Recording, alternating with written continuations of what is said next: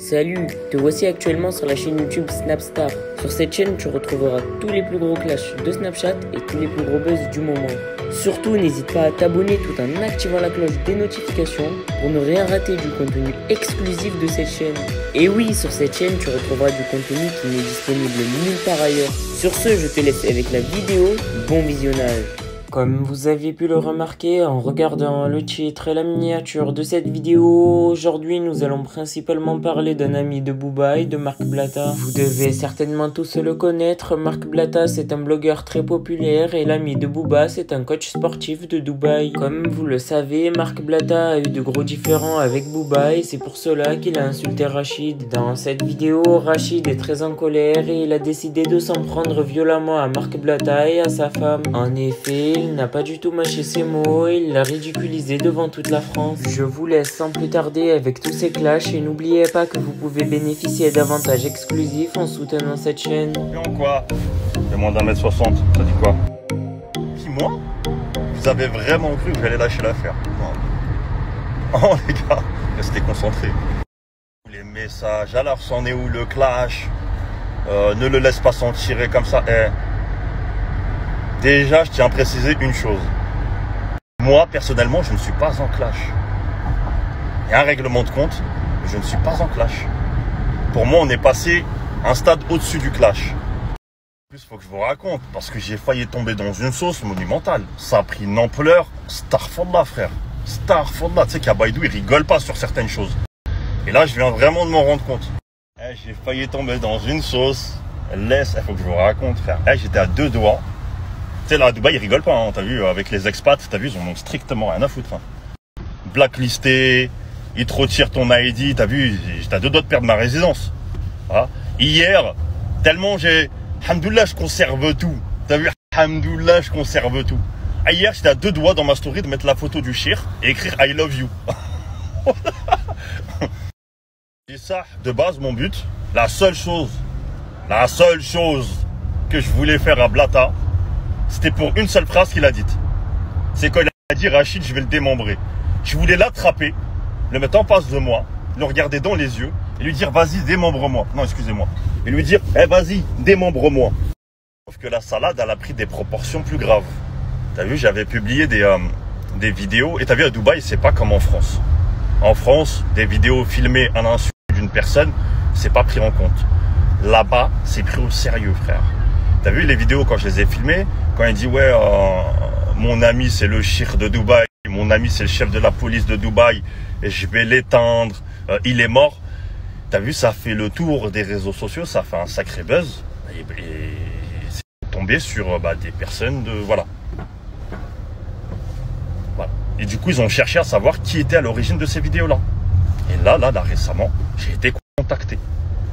J'ai commencé à claquer des genoux parce qu'il pensait que c'était moi qui parlais sur les vidéos. Je suis arrivé, mais non, c'est pas moi. Il dit qu'il s'appelle Marc. Moi, je m'appelle pas Marc, je m'appelle Rachid. J'ai rien à voir, moi, dans les histoires. Et en gros, il me demande de leur donner l'intégralité des vidéos. Sacré sauce. J'en rigole, mais euh, il y a deux jours, j'étais en train de transpirer, hein, parce que c'était là, c'était cette semaine. Du coup, suite à ça, j'ai dû mandater un avocat sur Dubaï, t'as vu, qui me représente en mon nom, en mon absence. Et euh, je vais lui envoyer les vidéos à lui. Je vais pas les envoyer directement, tu vois ce que je veux dire, frère. Euh, on sait jamais, peut-être qu'il y a des trucs dedans qui peuvent me porter préjudice. Réseaux sociaux, pas réseaux sociaux, chacun doit être responsable de ses actes. Moi, je vais envoyer ça uniquement pour prendre ma défense, pour pouvoir rentrer sur Dubaï tranquillement. Tu vois ce que je veux dire? Pour garder ma résidence.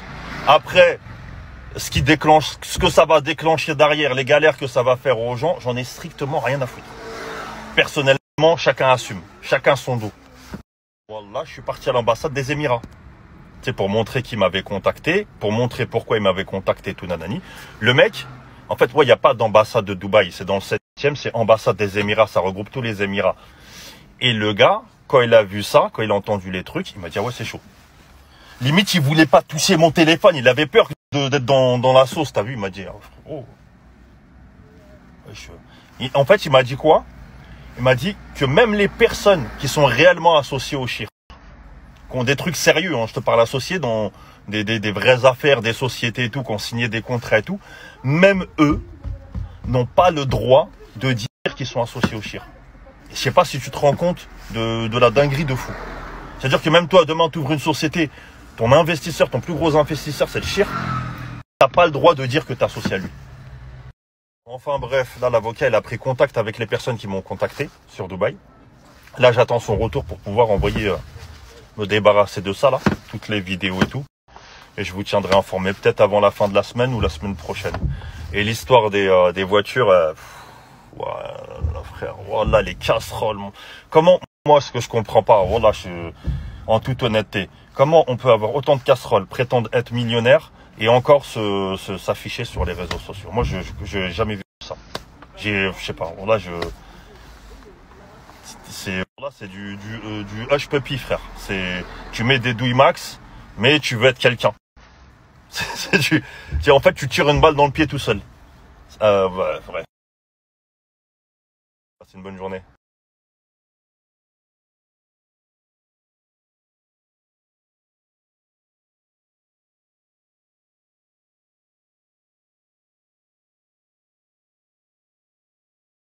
Sur le Coran, frérot, je vais te démembrer, frère, tu me racontes. Tu vois ce que je, je, je fais le fou sur internet, je fais la victime, je crois ça y est Frérot, pour, par Allah, frérot, je les éteins tous. D'accord, mais tu- La petite victime, je plainte, etc. Mm. Par Allah, ces gens-là en France, tu m'aurais appelé, tu sais très bien comment ça, ça serait terminé. Tu mets le casque, moi. Je suis incapable, ma gueule, je suis pas un. Là, on fait les fanfarons sur internet. Tu crois, c'est parce que tu tiens un four que ça y est, t'es quelqu'un, frérot? Par Allah, frérot, je monte sur la bécane, moi. Je monte. Et tu me connais, tu le sais. J'ai déjà. Mon ref, mais mon ref, t'es pas. Comme vous savez, je suis rentré à Dubaï. Et là, j'ai attrapé ce petit con. Ça y est, il m'a tiré les oreilles, la famille. C'est officiel. Hum Il m'a attrapé. C'est C'est un bon, c'est un bon, c'est un bon. C'est un bon de ouf. Bon, la famille. La crime m'a attrapé. Ah, en tout cas, franchement, merci à lui. Il est venu, il a pris le temps. Il a parlé avec moi longtemps. Et franchement, gros big up. Après, euh, le truc, Maintenant, quand je vois des bécanes, euh, je suis en panique. C'est pas pour moi. Maintenant, quand je vois des bécanes, euh, je suis en panique. C'est pas pour moi. C'est ça le problème des réseaux sociaux, c'est que ça a donné cette facilité aux gens de parler pour rien, frère, de s'inventer une vie, de se prendre pour je ne sais qui, tu vois. Tu sais, faut être responsable de ses actes, mais faut pas esquiver la responsabilité de ses paroles. Tu peux pas te permettre de lâcher des, des délires ça comme que ce soit par euh, les réseaux sociaux, par téléphone. Dans le vent, Zama, alors que tu sais qu'il va rien y avoir. Tu sais que tu vas rien faire. Tu sais très bien que tu vas rien faire. Tu peux pas lâcher des trucs comme ça. Tu vois? Et là, j'ai remis une piqûre de rappel. Il y a plein de gens hier, ils me disaient, mais tu me parles de quoi? C'est quoi ton histoire là de, de je suis incapable, de casque, de je vais te démembrer et tout, tu vois? Et en fait, j'ai fait une pause tellement longtemps. Ouais, je disais avant que ça coupe, il y a eu un événement très grave dans ma vie, très très grave pour moi. Euh, une épreuve à surmonter. Ça a été très difficile et c'est pas encore fini. Mais aujourd'hui, alhamdoulilah, ça va mieux. hein. Ça va mieux. On, commence à accepter. On va dire qu'on commence à accepter. Euh, c'est la volonté d'Allah, frère. On peut rien y faire. T'as vu, même si ça faisait 8 ans, 8 ans on était au courant, 8 ans qu'on était soi-disant préparé, on n'est jamais prêt. T'as vu, et euh, voilà, t'as vu, moi, en fait, moi, je suis comme ça. Quand il y a un, y a un mal dans ma vie, moi, je m'isole. T'as vu, je calcule personne, je m'isole, et voilà, j'ai pas besoin de m'entourer de monde, qu'on me réconforte ou je sais pas quoi. Faut que je fasse une pause éloignée, je m'isole, euh, le temps que, je médite, et voilà. Et après, c'est reparti, tu vois. Et donc, euh, ouais, voilà. Donc, il y a eu cette pause dans ma vie, mais ça veut pas dire que j'ai oublié. Ça veut pas dire. Moi, perso, je se marre pas. Il m'a envoyé un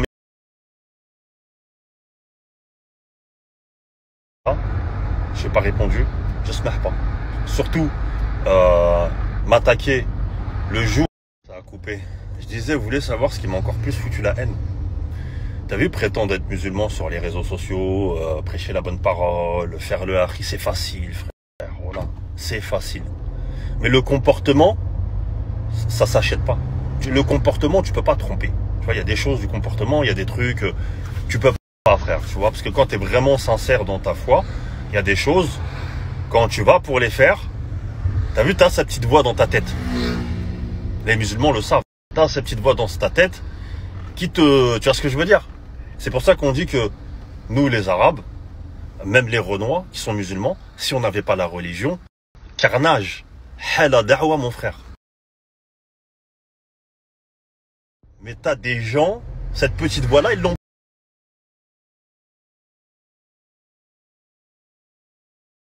Tu vois ce que je veux dire? Ils parlent, tu on les entend dire oui, moi je suis, moi je suis, moi je suis. Mais cette petite voix-là dans leur tête, qui les empêche de faire tout ça, ils l'ont pas. Et en fait, moi, ce qui m'a encore plus foutu la haine, choqué et tout, parce que même le plus grand fils de pute ne ferait pas ça, c'est que le jour du décès de mon père, il m'a attaqué. Il m'attaque sur ses réseaux. Et c'est, je peux te dire, il est pas au courant. Tu vois ce que je veux Merci dire à toi d'avoir visionné cette vidéo et surtout n'hésite pas à liker la vidéo et à nous donner ton avis dans l'espace commentaire. Sur ce, on se retrouve dans une prochaine vidéo. Peace.